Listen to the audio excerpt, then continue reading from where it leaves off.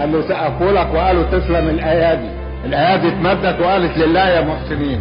وامتلأت الأسواق بالمواكب تبيع صديد الوهم والمراكب وفرشة بالوطن على الرصيف بالفكر والجياع وبالعناكب ومذلة الرغيف. المية غلط وال- والكهرباء غالية ودي ودي اللي كان بياخد 3 كيلو بقى ياخد نص كيلو. العالم الغلابه هتاكل إيه؟ راح تفضل كده لمتى يا غلبان بتداري إيه؟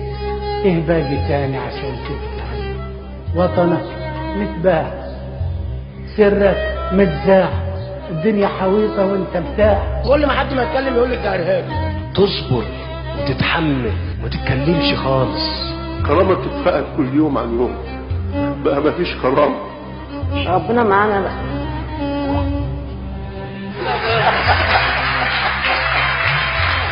بنمشي نكلم نفسنا في الشارع والله. مفيش مية شرب.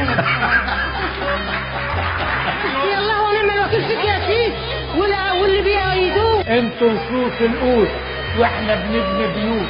إحنا الصوت ساعة ما تحبوا الدنيا تفوت إحنا شعبين شعبين شعبين. شوف الأول فين والتاني فين. ماذا الخط ما بين الاثنين بيفوت أنتوا بعتوا الأرض بفتح. بناس ماتت والريحة سبقت طلعت أنفاس. وإحنا أولاد الكلب الشعب إحنا بتوع الأجمل وطريق الصعب وبضرب بوز الجزمة وبسن الكعب والموت في الحرب. اللي يمد إيده على سيده لازم إيه؟ يتضرب بالجزم ويهين المعنى الظابط ويدوس بالجزمة على الحين.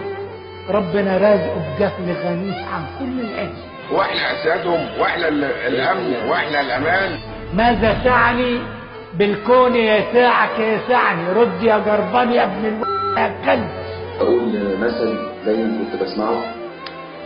المثل بيقول اللي تمد إيده على سيده تتقطع إيده أول ما اتلفت جه غرس الجزمة في اوضتي جه تعب بركني على الأسفل. ولقيت نفسي محاصر تاني تحت رجليه بطلب من ربنا الموت. يرحمني يرحمني بدل الذل اللي أنا فيه ده. الغلبان هو اللي راح تحت الرجلين ورا طب إحنا هناكله إيه؟ عمال يعمل لنا في مؤتمرات والشعب مش لاقي ياكل ولا إحنا لاقيين حاجة خالص. عزم البلد بعد كده هتولع. حركوا بقى شوية اتحركوا بكرة مع الوقت هتزور الزنزانه بأجيال. وأكيد فيه جيل أوصافه غير نفس الأوصاف. إن شاف يوعى وان وعي ما يخاف. أنتوا الخونة حتى لو خلني ظنه خد مفاتيح سجنك وياك. واترك لي وطن واترك لي وطن